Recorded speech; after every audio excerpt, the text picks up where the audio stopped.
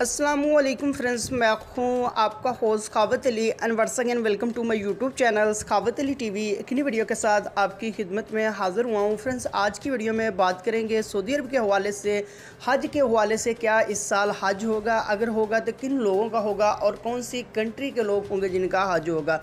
आज की इस वीडियो में आगे बढ़कर यही बताऊँगा। फ्रेंड्स, आगे बढ़ने से पहले मैं उन दोस्तों से रिक्वेस्ट करूँगा जो चैनल पर नहीं आए थे चैनल को सब्सक्राइब कर लो और साथ में बेलाइकन पर लाजमी क्लिक करें ताकि जब भी मैंने वीडियो अपलोड करूँ, सबसे पहले आप दोस्तों को मिले, आप दोस्त बड़ी आसानी से देख पाएँ।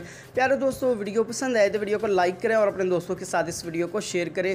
फ्रेंड्स, बहुत सारी कंट्री ऐसी है जिन्होंने अनाउंसमेंट कर दी है कि इस साल हज नहीं होगा।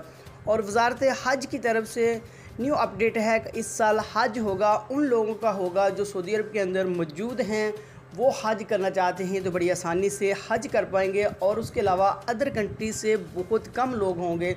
जैसे पहले हज़ारों के हिसाब से, लाखों के हिसाब से होते थे। अब ऐसा नहीं होगा। अब बहुत ही कम लोग होंगे अदर कंट्री से और जो सऊदी अरब के अंदर मौजूद हैं, वो बड़ी आसानी से इस साल हज कर पाएँगे।